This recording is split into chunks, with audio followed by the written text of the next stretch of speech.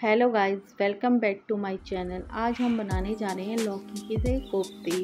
कोफ्ते बनाने के लिए पहले हमने लौकी को धो लिया, फिर हमने इसको छिल के उसको कद्दूकस कर लिया है और उसको हल्के हाथों से निचोड़ लिया है। अब हम इसमें कटी हुई हरी मिर्च डाल दी है। ये देखिए, और थोड़ा सा अदरक डाल दिया है इसमें।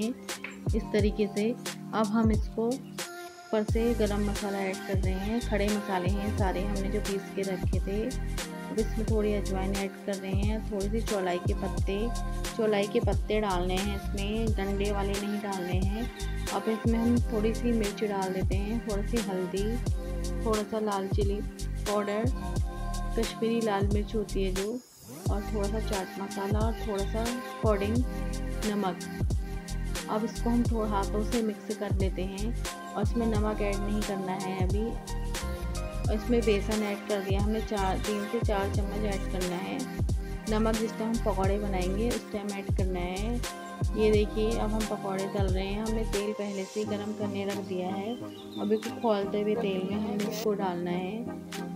तेल बिल्कुल खोला के रखना है और फटाफट इसको तल देना है पकौड़ों को। ये देखिए कितने अच्छे क्रंची हमारे पकौड़े बन के तैयार हैं। आपको हमारी वीडियो पसंद आ रही हो तो सब्सक्राइब और लाइक करिए, ज़्यादा से ज़्यादा शेयर किए